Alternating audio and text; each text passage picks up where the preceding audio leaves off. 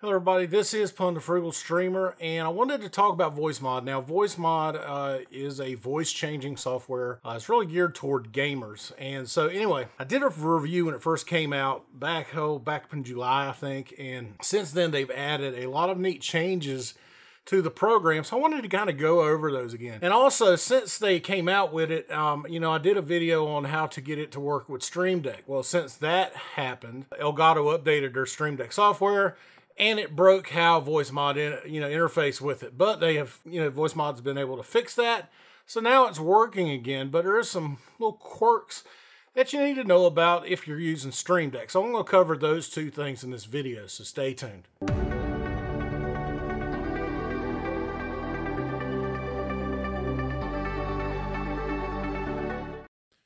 All right, so let me talk about some of these changes with VoiceMod. Uh, now, if you're not familiar with this, Again, this is voice changer program. Free plan, uh, you do get uh, a lot of functionality, but you get limited functionality. Like you're, you don't get full access to all these voices.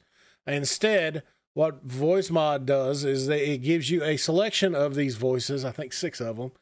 Um, I think it's once a day they transfer over, they change. Okay. So you don't always get to set your own voices and keep them. Um, you will get a new set of voices every time. Uh, that is one of the downfalls. If you do the subscription base, then you get full access to everything. You can make all your favorite voices so that then you could use this for Stream Deck. Okay. One of the new things that they've added, which is really cool, is you now have your own voices that you can make yourself. Um, and it's easy to do. It's simply going here. Let me switch over to the game PC here and going right to this area right here. And you can go and make your own voice mods, which is really cool. So you can see all different layers of effects that you have. Uh, you got delay, which is really nice, vocoder, wah wah, reverb, your pitch, double pitch that you'll use, flange. You have chorus, high pass, low pass, which is really nice. And then you've got a mix that you can use of voice volume and uh, intelligible, which is pretty cool. And then you can save these and then you can go and add your own images to them, which is really neat. Uh, so that's very nice. That's something that was not in the original version.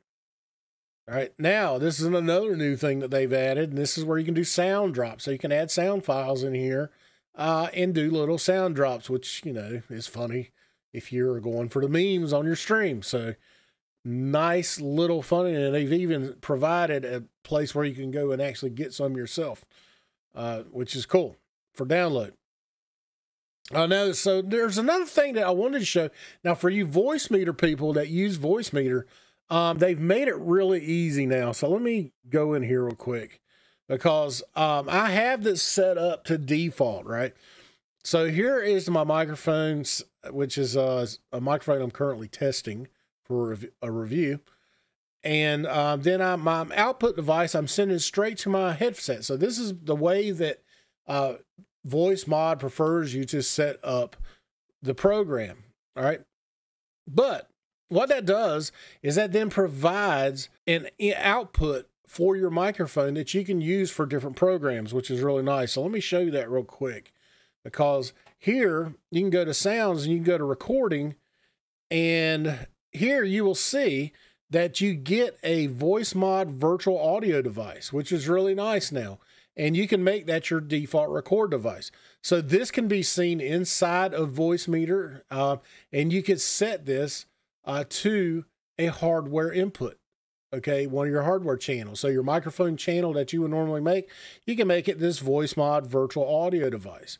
That way, it's connected into Voicemeeter and you get all your audio effects and then you can route them wherever you want to go which is really nice. That was not available i don't think in the first one and it was kind of weird how you had to get it set up to go inside a Voicemeeter and that's and it wasn't really a great way to do it but they've made it a lot easier now and you can do that using that virtual audio device which is cool. All right so uh, if you got any questions about this it's really a neat program. Um, really easy to set up. Um, I, as i you know told you I have this set up inside a Stream Deck right here, and it works great. I mean, you, have all these effects, and it's just a simple keybind that you can. Let me open this up here. That you can go down the system and you use this little hotkey and you click and drag it over into one of your spots there. and then you simply make it to match the keys uh, binds that you use inside of VoiceMod, and it works great. As uh, you know, you can see here as I change it using baby and alien and cave and all that stuff. So, and you know, it works good. I like it a lot. And so here's a couple little weird things that I found with this. Uh, sometimes can be a little finicky with Stream Deck. So sometimes uh, if the if you uh, if the program is uh, minimized and say your PC you know goes into sleep mode, when you bring that back up, this may not work with Stream Deck. Okay, and what you're going to have to do simply go in. Unset that here. Simply go into Stream Deck. We bring it back up. Go into Stream Deck and just go to any one of the keys and just rebind your keys.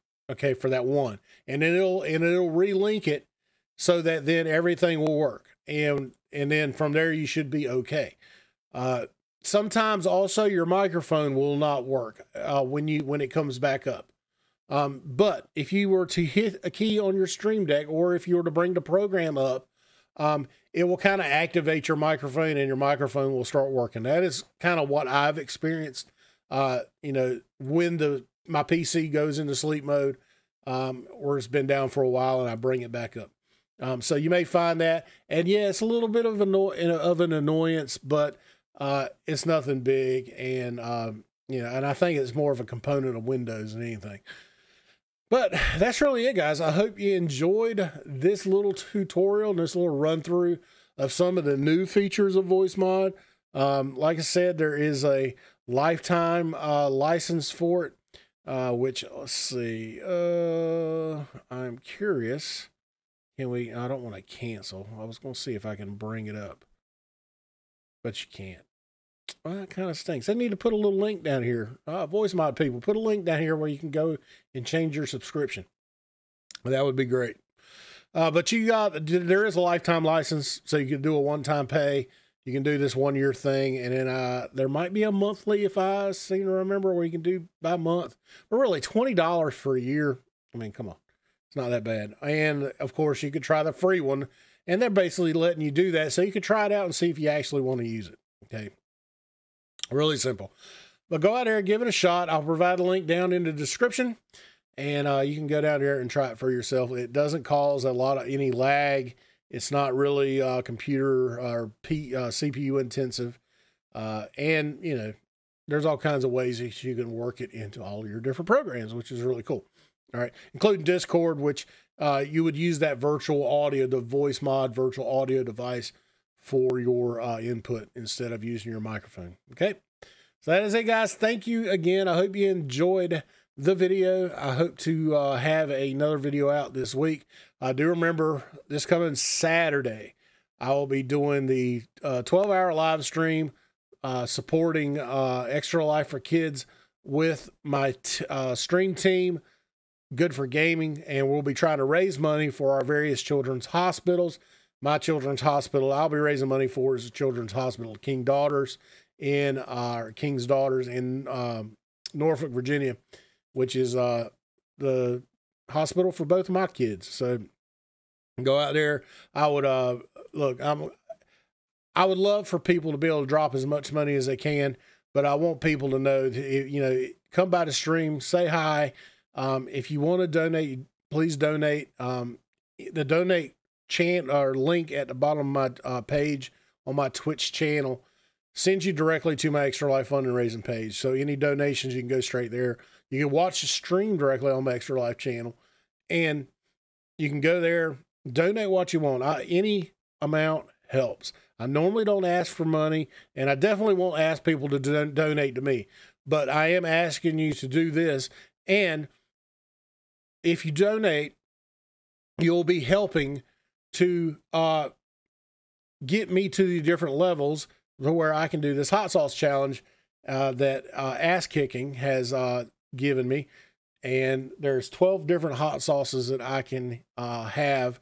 And anyway, so you give money, it puts me in the uh, position to have to you you know eat these hot sauces and show some pain on the stream, which I think a lot of people are looking forward to. Uh, last year's I did the same similar kind of thing where I had these mixed drinks that were various liquids and foods that were all grinded up together and mixed together, and it was just it was brutal for me. But people enjoyed it. It was a lot of fun. And hey, we raised a lot of money doing it. So I'm hoping to do the same thing this year, but I'll be doing a hot sauce challenge instead.